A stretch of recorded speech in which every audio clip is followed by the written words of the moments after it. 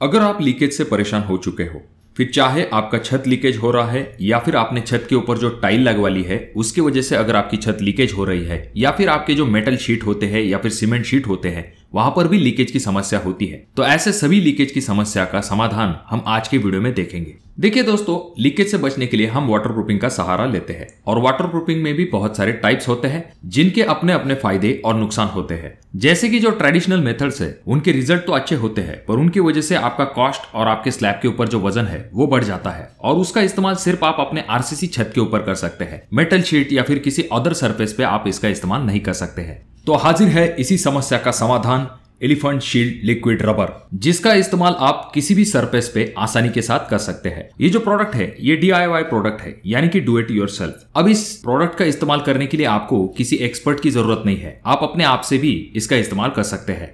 ये जो elephant shield, liquid rubber है, ये बहुत सारी चीज़ों में काम में लिया जाता है। इसका इस्तेमाल वाटर प्रूफिंग के लिए तो किया जाता है, उसके साथ में जंग को कंट्रोल करने के लिए, उसके बाद में केमिकल प्रोटेक्शन के लिए भी इसका इस्तेमाल किया जाता है। अब यहाँ पर वीडियो के एंड में मैं आपको एक ऐसी बोनस टिप दूँगा, जिससे आपका वाटर प्रूफिंग का प्रॉब्लम भी सॉल्व हो जाएगा और आपका घर का टेम्परेचर भी कम करने में आपको ज़रूर मदद मिलेगी। और ये प्रोडक्ट वाकई में काम करता है या नहीं, इसके बारे में हम एक छोटा सा टेस्ट लेंगे, जिसमें कि हम एक फ्लावर पॉट को लीक कर देंगे और उसके बाद में उसके ऊपर एलिफेंट शील्ड लिक्विड रबर का एक कोट लगाएँगे और ये देखेंगे कि लीकेज आखिर रुका है या नहीं। तो इस पार्ट को मिस बिल्कुल भी मत कीजिए। ये एलिफेंट शीट लिक्विड रबर जो है, ये कैनेडा में अत्याधुनिक टेक्नोलॉजी से विकसित किया गया है, जिसका इस्तेमाल आप बहुत सारे जगह पर कर सकते हैं। आप अपने कंक्रीट की छत के ऊपर प्लास्टर के ऊपर, सभी प्रकार के जो रूफिंग शीट्स होते हैं, उनके ऊपर जीआई शीट सीमेंट शीट या फिर पॉलीकार्बोनेट शीट इनके ऊपर तो कर सकते हैं। साथ में चाइना मोजेक जो होती है, वहाँ पर भी लीकेज की समस्या होती है। तो उसके ऊपर भी आप इसका इस्तेमाल कर सकते हैं। साथ में लकड़ी, पत्थर, फोम, मेटल, इस तरह के सतह पर आप इसका डायरेक्टली उपयोग कर सकते हैं।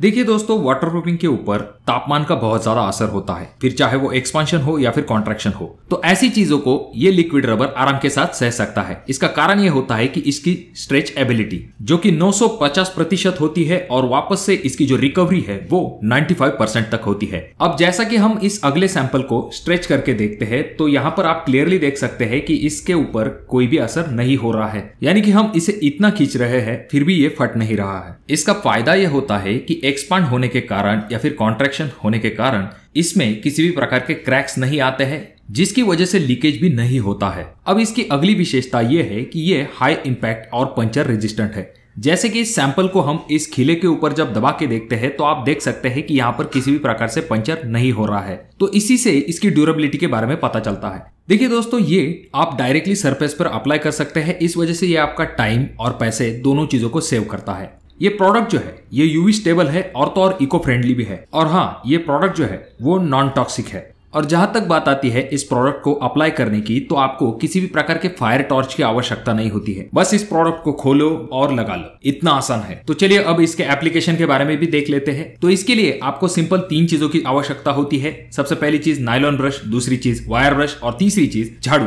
अब सबसे पहली चीज़ झाड़ू की मदद से आपको, आपके पूरे स्लैब को साफ़ कर लेना है। उसके बाद में वायर ब्रश की मदद से जहाँ पर आपकी सीमेंट स्लरी या फिर कुछ सीमेंट की पपड़िया या फिर कोई प्लास्टर का माल है तो उसे आपको निकाल लेना है। एप्लीकेशन करने से पहले ये ज़रूर ध्यान में रखिए कि वहाँ पर किसी भी प्रकार की धूल नहीं होनी चाहिए, जिससे कि बॉन्डिंग पर इफ़ेक्ट आ सकता है। अब प्रॉपर स्लैब का इंस्पेक्शन कीजिए। जहाँ पर आपको क्रैक्स दिखाई दे रहे होंगे, वहाँ पर आपको पहले तो एक coat Elephant Shield liquid rubber को अप्लाई कर लेना है। उसके बाद जाकर आपको ये जो सफ़ेद कपड़ा आप देख रहे हैं, इसे नॉन वूवन फैब्रिक कहते हैं। इसका इस्तेमाल आपको इस पहले कोट के ऊपर अच्छे से कर लेना है। याद रखिए, जब भी आप इसे इस पहले कोट के ऊपर चिपकाएँगे तो किसी भी प्रकार के बबल नहीं छूटने चाहिए। और जब आप इसे अच्छे से अप्लाई कर देंगे, उसके बाद बारी आती है आपके सेकंड कोट की, यानी कि लिक्विड रबर का सेकंड कोट आपको इस फैब्रिक के ऊपर देना है। इस तरह से आपको पहले तो क्रैक को ट्रीट करना है। और ये जो लिक्विड रबर है, ये 30 मिनट के अंदर सेट हो जाता है और 24 घंटे के अंदर ये सूख कर तैयार हो जाता है। अब ये तो बात हो गई दोस्तों क्रैक की। और जहाँ तक बात आती है स्लैब की तो वहाँ पर तो और भी आसान हो जाता है, क्योंकि आपको डायरेक्टली इस प्रोडक्ट को खोलना है और पेंट की तरह आपको इसके सरफेस के ऊपर अप्लाई कर देना है। जैसा कि हम अगले वीडियो में देख रहे हैं, यहाँ पर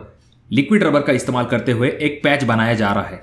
जैसे कि आप इस प्रोसीजर को देख पा रहे होंगे, ये बहुत ही ज़्यादा आसान है। इसी वजह से मैंने आपसे कहा कि इसके लिए आपको किसी स्किल्ड लेबर की आवश्यकता नहीं होती है, या आप अपने आप से ही कर सकते हैं। ये जो लिक्विड रबर है, ये एक प्रोटेक्टिव लेयर बना देता है आपकी छत के ऊपर, जिससे कि आपकी छत का लीकेज से प्रोटेक्शन हो पाता है। और एक बार एप्लीकेशन होने के बाद आपको इसे 24 से लेके 48 घंटे तक सूखने के लिए छोड़ देना चाहिए। और अगर आवश्यक है तो आप दो कोट का भी इस्तेमाल कर सकते हैं। देखिए दोस्तों, अब मैं आपको एक बोनस टिप बताता हूँ। जैसा कि आपके दिमाग में ये सवाल आया होगा कि इसके कलर के कारण कहीं इस वाटरप्रूफिंग की वजह से घर के अंदर का तापमान तो नहीं बढ़ेगा। तो पहली चीज़ तो ये है कि ये प्रोडक्ट यूवी स्टेबलाइज है। और दूसरी चीज़, जब आप लिक्विड रबर का कोट अपने छत के ऊपर लगा लेंगे तो उसके दस दिन के बाद आप किसी भी प्रकार के वाटर बेस्ड पेंट का इसके ऊपर इस्तेमाल कर सकते हैं। अगर आप व्हाइट कलर का इस्तेमाल करेंगे तो इससे आपके छत का टेम्परेचर भी नहीं बढ़ेगा। यानी कि गर्मी के सीज़न में आपको घर के अंदर अच्छी खासी राहत मिल सकती है। और अगर आप अपने छत के ऊपर टाइल लगवाने के बारे में सोच रहे हैं तो आप पहले अपने छत के ऊपर